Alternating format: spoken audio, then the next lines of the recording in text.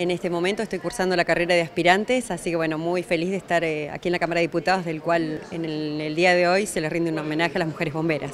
Eh, ¿Son muchas las mujeres bomberas en la provincia de La Pampa? En la provincia de La Pampa y sí, eh, las mujeres se van sumando, ya que muchas veces es una tarea un poco masculina, pero bueno, la presencia de la mujer también impacta en lo que es esto de ayudar, de estar y de colaborar. ¿Se marca, hay, diferencias entre el trabajo que puede hacer un bombero varón y una bombera mujer?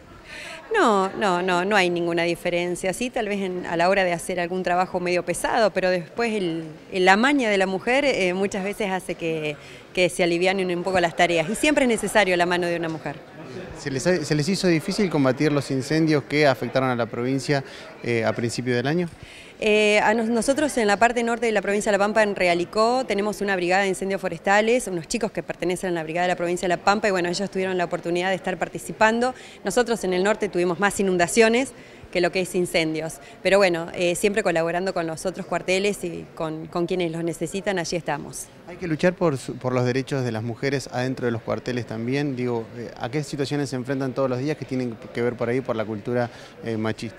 No, creo que ahora en la actualidad somos todos iguales. Eh, gracias a Dios no tenemos nosotros, por ejemplo, el problema en nuestro cuartel allí en Realicó, no tenemos el problema de, de, pagar derecho de piso porque sos mujer, no. Somos todos iguales allí y todos somos amigos, compañeros y todos luchamos por un fin en común que es ayudar a la comunidad.